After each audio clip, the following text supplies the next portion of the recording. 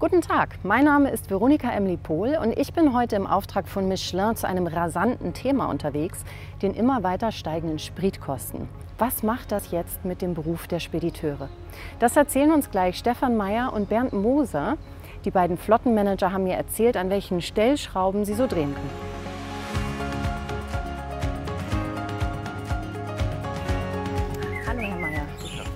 Herzlich willkommen. Dankeschön, Mein Name ist Stefan Meyer, ich bin Geschäftsführer der Spedition Schulz und Sohn. Wir sind eine Kraftwagenspedition mit ähm, ja, 35 eigenen LKWs. unser Schwerpunkt ist der internationale Fernverkehr.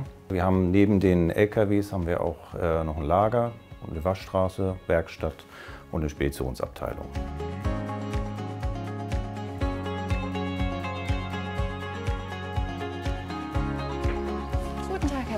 Schön, Sie zu sehen. Ja, schön, Sie zu Sie sehen. gute Anreise gehabt? Ja, ja alles das bestens gewesen. Mein Name ist Bernd Moser.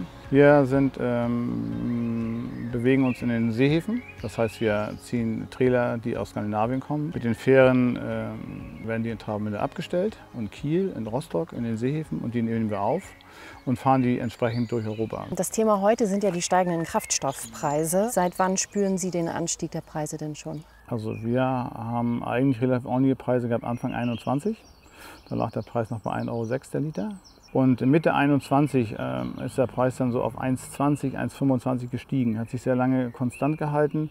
Der Schock ist hier erst nach dem Einmarsch gekommen, dass im März die Preise plötzlich auf 1,75, 1,99. Ich habe hier eine Charge eingekauft für 1,99 Euro. Das war der höchste Spritpreis, den ich äh, jemals bezahlt habe. Äh, wir haben eine geringe Gewinnmarge und dann müssen wir es eins zu eins weitergeben. Ne? Also das bisschen, was überbleibt am Ende des Tages, äh, ist schwer zu teilen. Also kann man natürlich noch, aber dann wird es irgendwann uninteressant. Wie verändert die Preissituation Ihren Alltag als Manager dieser Flotte?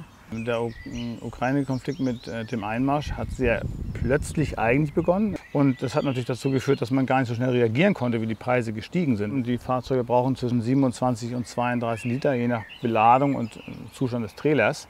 Und ähm, da ist das natürlich schon ein riesen Kostenfaktor.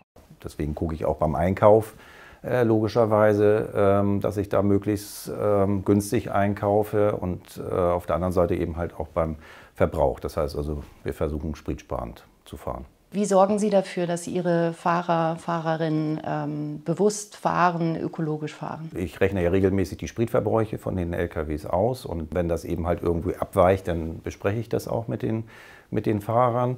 Also ich persönlich setze auch auf, auf moderne Technik. Das heißt also, wir tauschen unsere LKWs regelmäßig aus. Und im Grunde genommen ist mit jeder Generation von LKW kommen eigentlich auch ähm, von den Fahrzeugherstellern schon, schon äh, Spritersparnisse rein. Inwiefern spielen denn die Reifen eine Rolle? Dadurch, dass wir neue Fahrzeuge haben, haben wir natürlich auch bei der Reifentechnik oder ja, neuere, äh, die neueste Generation, da äh, achten wir im Fernverkehr auch speziell auf energiesparende Reifen. Und wir haben, fahren ausschließlich Michelin und das hat sich über die Jahre so entwickelt, dass wir da die besten Erfahrungen mitnehmen. Was die Haltbarkeit angeht, was, den, was, was, was, der, was das äh, Abriebverhalten angeht, was die Lärmbelästigung angeht, sind wir mit dem Reifen sehr gut zufrieden. Inwiefern trägt die aktuelle Situation dazu bei, dass Sie darüber nachdenken, eventuell auf erneuerbare Energien umzusteigen?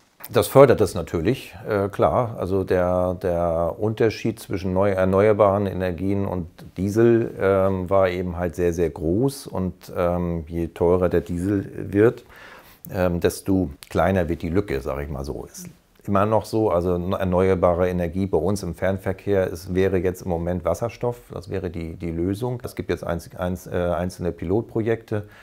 Ähm, aber ich kenne so ein bisschen die Preise und da ist noch äh, ja, eine ganze Menge Luft. Das heißt, Ihre Devise ist flexibel bleiben? Flexibel bleiben, keine, ich tätige keine großen Investitionen. Wenn es dann äh, eine Rezession gibt sogar, dann kann ich nicht mehr alle beschäftigen. Dann will ich aber auch keine Rate bei der Bank mehr bezahlen müssen. Dann will ich das auch anscheinend frei haben. Okay, dann ist das Auto eben sechs, sieben Jahre alt. Ich habe eine eigene Werkstatt, ich kann das alles wuppen, das ist kein Problem für mich. Also von so her haben wir da keine Sorgen. Herzlichen Dank für das Gespräch. Wir haben gesehen, dass die Transportunternehmen im Alltag relativ wenig Spielraum haben, um auf Preissteigerungen einzugehen. Ökonomisches Fahren gehört dazu, die Wartung der Fahrzeuge, aber auch erneuerbare Energien werden immer wichtiger. Und die bedürfen noch Förderung. Wir würden sagen, es ist Zeit, den Gang dafür einzuschalten.